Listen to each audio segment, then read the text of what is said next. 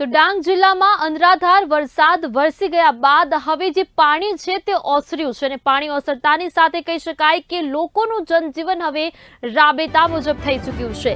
જી હા ડાંગ જિલ્લામાં અનરાધાર વરસાદ બાદ હવે માર્ગ પર પાણી ઓસરતા જનજીવન રાબેતા મુજબ શરૂ થયું છે. હાલ જિલ્લામાં પચીસ માર્ગો બંધ છે, જેનાથી એકતાળીસ ગામો પ્રભાવિત થયા છે. જિલ્લા પ્રશાસન દ્વારા બંધ માર્ગોને પૂર્વવત કરવાની કામગીરી પૂરજોશમાં ચાલી રહી છે.